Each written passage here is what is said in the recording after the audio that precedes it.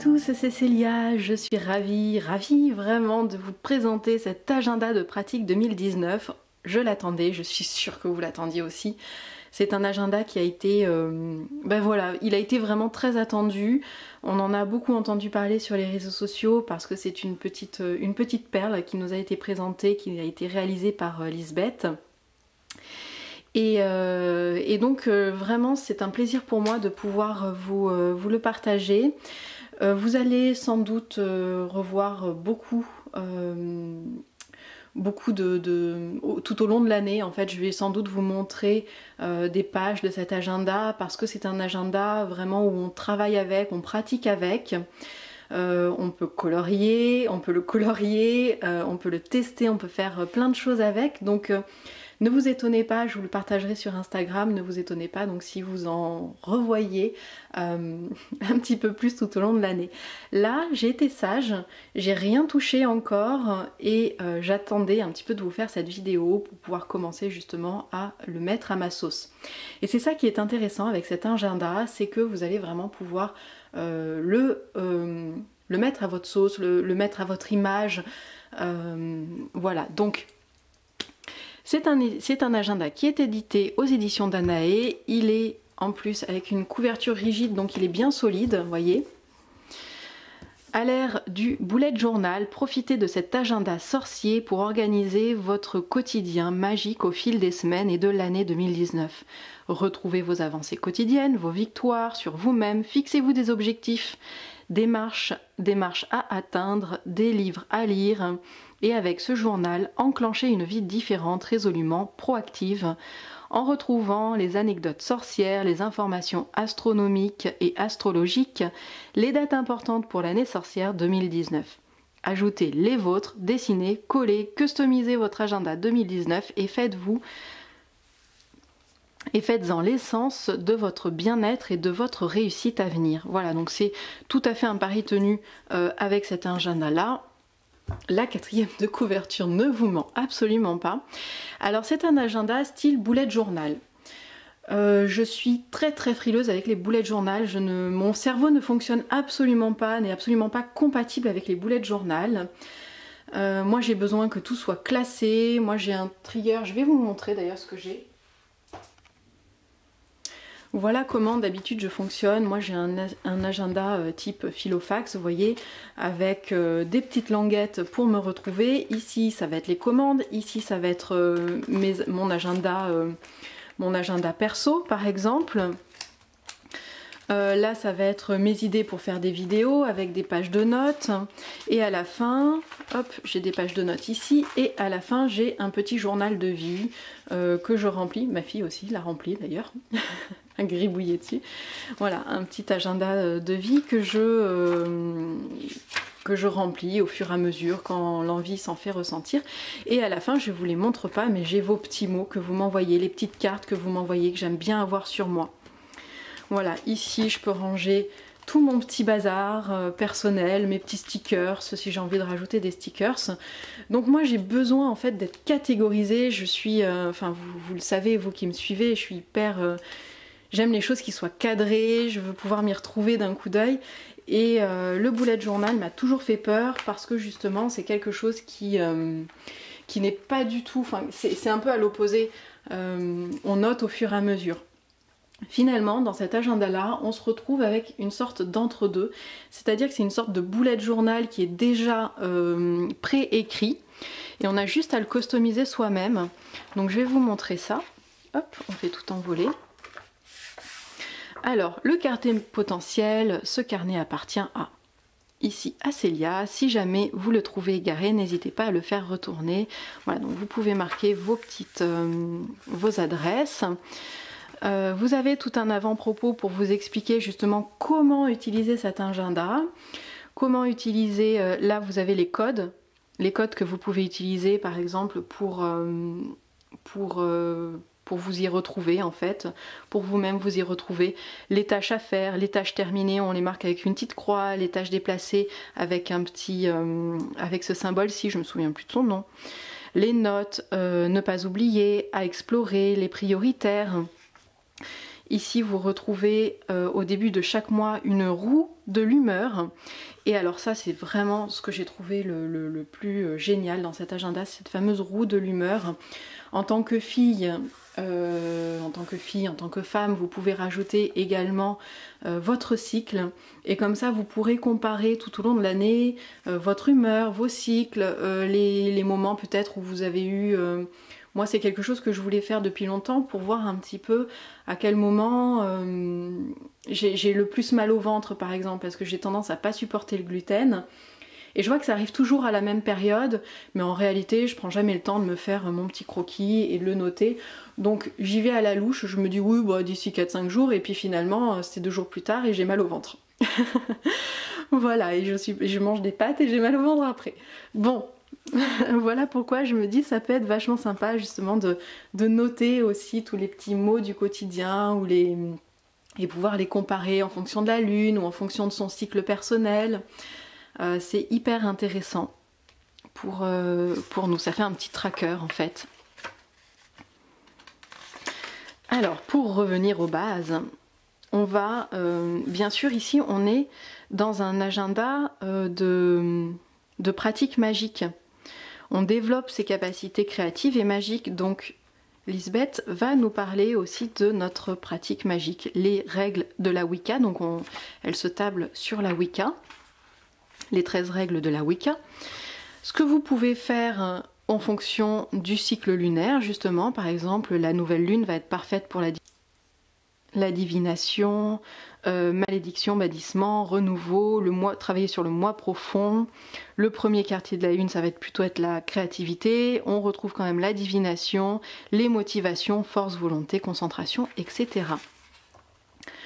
On retrouve ici justement euh, les différents noms des pleines lunes en fonction des traditions. Un calendrier lunaire pour aller directement euh, voir où vous en êtes dans le, dans le mois le rythme féminin, très intéressant justement, et comme ça vous pouvez justement euh, travailler euh, avec ce rythme sur votre tracker d'humeur ici. Composer un antel si vous en avez envie, bien sûr ce sont toujours des propositions. J'ai beaucoup aimé l'écriture de Lisbeth parce qu'elle prend les choses avec... Euh, c'est sérieux mais léger en fait on, est aussi là pour rigoler, on est aussi là pour... Euh, voilà, on, cherche à se, faire plaisir, à vivre en harmonie, et tout ça, ça doit engendrer de la bonne humeur. Donc euh, elle, a, vraiment un humour euh, fin que j'ai beaucoup apprécié. Alors là, vous pouvez découper cette page-là pour vous faire un petit hôtel portatif, si c'est pas choupinou. Voilà, et elle vous explique comment faire votre petit hôtel portatif dans une boîte, par exemple, dans une boîte d'allumettes ou ou si vous, enfin voilà, dans une boîte d'allumettes si vous en avez envie ou autre. Alors elle explique comment ouvrir des cercles de pratique, le fermer, un tracker des victoires, ça c'est top justement, tout au long de l'année vous allez pouvoir traquer vos victoires. traquer, on dirait qu'on est des chasseurs. Mais euh, voilà, vous allez pouvoir répertorier vos victoires et puis voir un petit peu tout ce que vous avez accompli en une année, donc ça c'est sympa. Ici c'est une petite page de coloriage, donc vous pouvez vous faire plaisir quand vous êtes par exemple comme moi au téléphone et que vous aimez bien gribouiller en même temps. Ben là vous allez pouvoir colorier en même temps si, si l'humeur vous en dit. Alors, les différentes dates et célébrations, le cube de Métatron, la bibliothèque de sorcières, ici c'est vachement sympa ce qu'elle a fait, c'est que, bon déjà vous pouvez bien sûr le colorier comme vous en avez envie, et vous pouvez mettre sur la tranche des livres tous les livres que vous avez lus tout au long de l'année. C'est sympa cette présentation comme ça, au lieu de juste lister, de les mettre comme ça. Alors ici on va travailler sur la symbolique des éléments. Donc ici on est dans la symbolique de la Terre. Vous retrouvez euh, la planète associée, période de vie, les divinités, les pierres, les animaux, les plantes, les saisons, etc. Les signes du zodiaque. Donc elle vous parle un petit peu plus euh, de cet élément. Euh, le jardin, comment jardiner avec la lune, justement. Ensuite, on a la même chose pour l'air, on a la même chose pour la terre. Toujours pareil, vous pouvez colorier. Hein. C'est fait exprès, il faut vraiment vous exprimer dans ce journal. C'est le but. Et ensuite, on a la même chose pour l'eau. Voilà. Hop. Alors, on va commencer ici avec qu'est-ce qu'on pratique ce trimestre-ci? J'ai envie de pratiquer, à vous de voir, à vous de noter aussi le matériel dont vous avez besoin. Et on va commencer en janvier, toujours pareil, ici c'est à, à colorier pour vous. On a le mois de janvier, le mois entier qui est répertorié ici. Votre tracker d'humeur justement qui est ici, vous avez à chaque fois des petites cases que vous coloriez et euh, vous allez répertorier euh, ces couleurs ici.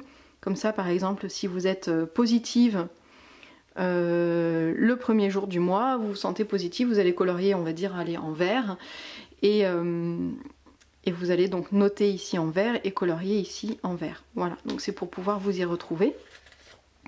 Un résumé du mois, un tracker de pratique, donc euh, voilà, vous, avez les, vous, avez les, heures et vous pouvez euh, noter les pratiques que vous avez fait. Un tirage du mois, donc très intéressant pour nous, bien sûr, qui nous intéressons aux cartes.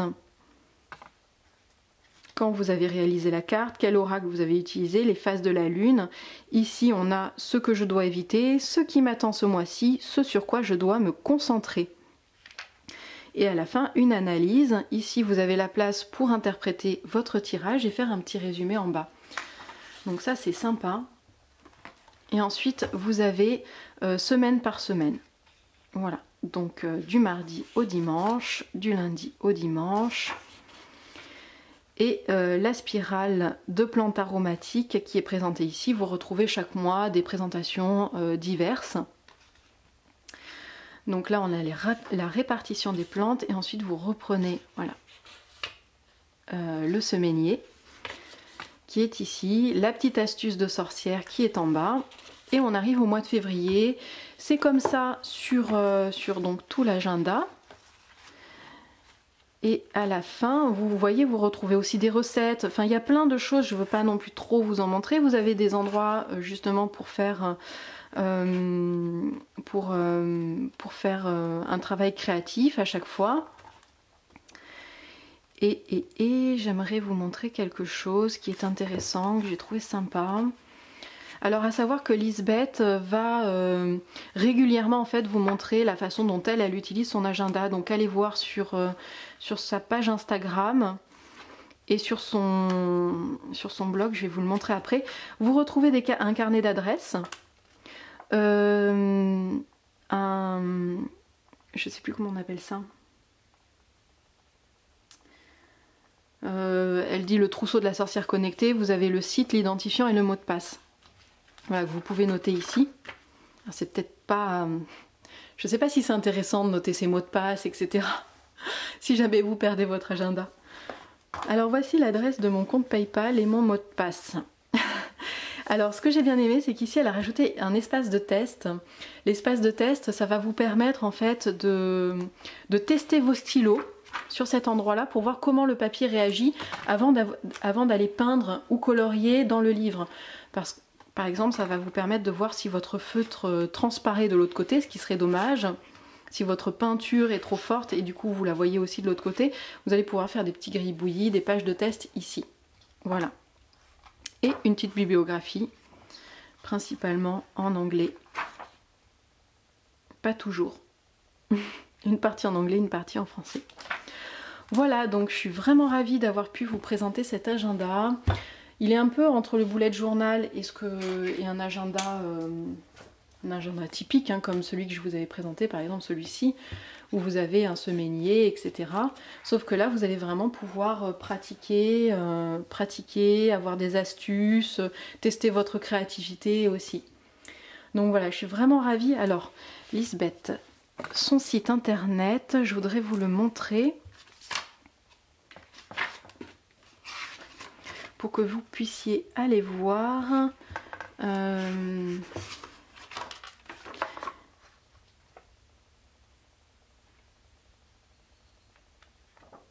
pour que vous puissiez aller voir. Alors, on doit la voir dans les crédits peut-être. Elle a tout fait, hein, la couverture, le graphisme, les illustrations, les textes. Là c'est vraiment du 100% Lisbeth. Je ne trouve pas son site. J'aurais dû le noter à côté parce que je pense qu'elle en parle quand elle dit justement qu'elle va le présenter euh, euh, sur sa page Instagram et sur, euh, son site.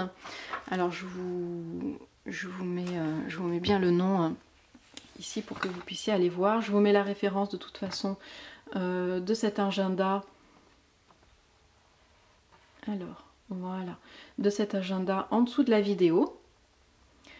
Donc voilà, un très beau travail euh, euh, et, moi un plaisir de vous le présenter.